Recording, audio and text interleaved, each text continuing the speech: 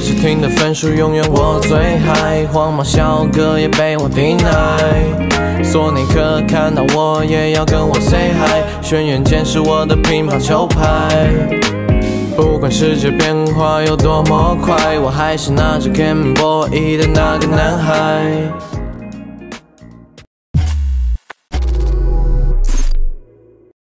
各位，塞尔达传说系列在全球有着众多拥趸，也是任天堂旗下的一个重要的 IP。即将到来的《旷野之息二》也令无数玩家翘首企盼。我本人呢，不敢说自己是塞尔达系列的超级粉丝，可是重要的正传作品啊，我也都算是认真玩过。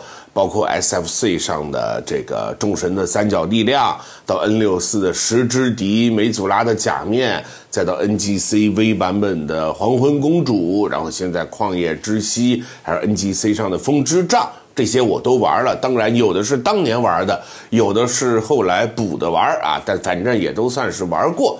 可是每一回玩啊，就越发有一个问题萦绕我心间，挥之不去。为什么呢？游戏的名字叫做《The Legend of Zelda》塞尔达传说，对吧？可是其实塞尔达公主呢，却并非每一座都有登场。起码根据官方资料显示呢，在梦见岛啊，现在翻译成织梦岛，在这一部作品之中呢，塞尔达公主就没有登场。林克一开始把一姑娘误认为塞尔达，但只是长得像，她并不是塞尔达公主。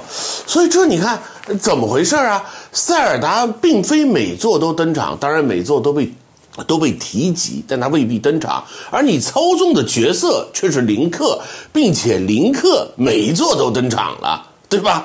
但是游戏却叫做《Legend of Zelda》，而不叫做《Legend of Link》，就让人觉得很奇怪啊！你试想，如果啊。超级马里奥兄弟的名字呢，叫做超级桃子公主。可是你每一次却操纵的是马里奥兄弟，那么请问这个谁谁管啊？到底是谁在疏通？究竟是啊，这个桃子公主家马桶堵了，注意城堡马桶堵了，那是请马里奥过来疏通？那毕竟人是水管水管工吗？还是你自个儿疏通啊？嘿，这个 DIY 啊，Do it by yourself。我很好奇，对吧？所以你看这个林克，哎，你看主人公游戏的名字却不以他为命名，怎么回事啊？于是我也做了一些考证之工作。那首先我们要理解林克这个角色，林克这个角色啊，绝非只是一个单纯拯救公主的英雄啊，每一座这个。呃，脚踏七彩祥云啊，拿着这个七彩祥云是没有啊，剑盾还是要有的，就拯救公主。他不是这样一个单纯的角色。根据官方的这个海拉尔历史啊资料设定中来看呢，林克这个名字啊，Link 联结嘛，当然这个联结啊，呃，不是这个送快递联结啊，这就是联结什么呢？是把人人民啊。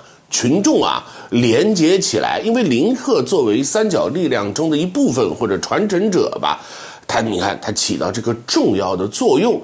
但是呢，林克这样的一个角色的存在，却又不是这个《The Legend of Zelda》就这个塞尔达这个公主周而复始，整个传说不断循环或者不断重演，但是每一次的演变却未必一致，对吧？它却不是这个不断重演，这个黑暗力量加农控制公主，然后林克出现，它整个周期不断重演。林克不是这里边的根源，林克更接近一个工具人。所以，我们虽然操纵的是林克，但是整个故事的构建之中，整个大的世界观里面，林克却只是沧海一粟、汪洋中的一条船。所以，好像从这个角度来说，不以他为命名啊，好像勉强说得过去。毕竟，更高力量的存在是 Triforce，就是所谓的三角力量。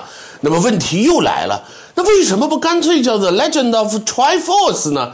为什么不叫三角力量传说也很合理啊？既然塞尔达也好，呃，林克也罢，甚至加农也好，终究是三角力量之下的这么一个配角而已。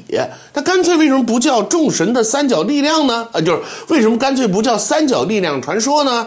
这个啊也可以讲明白，因为最最一开始的设定之中，当然其实 FC 上的两座啊。我到现在也没有认真玩过，所以呢，我这个是看的官方设定集。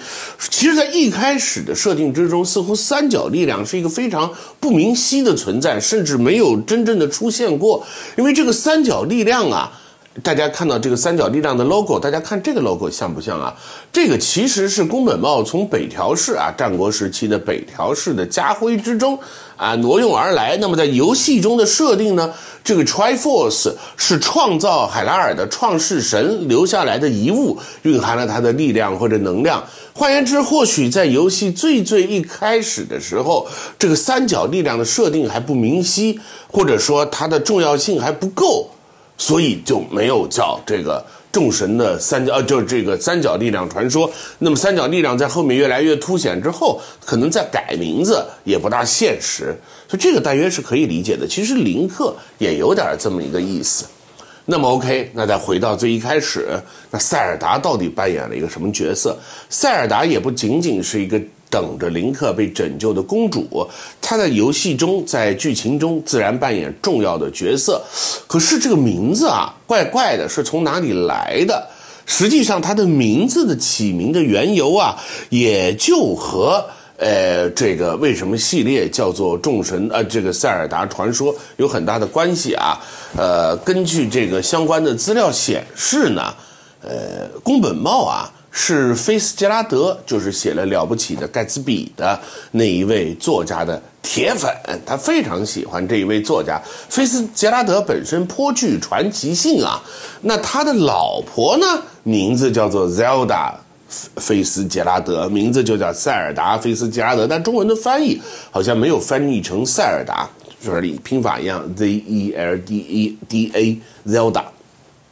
那所以呢，就把里面的这公主取名叫做塞尔达，所以干脆就连带整个传奇变成了所谓的塞尔达传说。这个时候是最一开始的原因。那命名如此之后呢，等到后面林克扮的戏份越来越重，三角力量也在中间显得越来越重要，似乎也就不大方便改名了。所以大致原因啊就是这样。并没有特别复杂而已，等于说有点类似于啊，嗯，当然不是很恰当，有点类似于最一开始的《生化危机》发生在洋馆之中，所以呢，翻译成所谓的恶灵古堡啊，当然这个是港台的翻译成所谓的恶灵古堡。那后来呢，恶灵可能还有啊，它古堡也没有了，那可是也就没法再改了，所以就这么一直就延续了下来，有点类似于。这么一个套路，所以直到今天啊，虽然你每一座扮演的都是小英雄林克，有时候也不小啊。呃，我说的是年龄啊，也，但是他从来没有叫做林克传说，大概原因也在于此，挺有意思的一件事情啊，和大家分享一下。那有点短，哎，那可是说话说完了，咱也不能硬往里边灌水，延长时间是吧？所以剩下这点时间呢，我想再和不厌其烦的和大家聊聊啊，这个即将上线的。哎呦，这这这个细看从头，呃，细说从头啊！我把这东西调门告调的太高，到时候节目不怎么着，可能反被打脸啊。但是如果节目不怎么着，这个不是态度的问题，而是能力问题。我是尽我自己的最佳的水准，也尽了最大的努力去把这个系列做做好。因为其实，呃，这种游戏历史的或者怀旧类型的节目。它的播放量都不是特别好，朋友们也常常为我担心，说：“哎呦，看到像有些节目的播放量不怎么着，是不是凉了或者怎么着？”首先，从来也没有多热过；其次，也谈不上凉不凉。因为如果你想要啊追求一些播放量，当然以我的这种非常有限的影响力，你想动不动就一期几十万、什么一百万的播放量，这个我确实打死也做不到。但如果想要呃数据略好看一些，其实也不那么难嘛。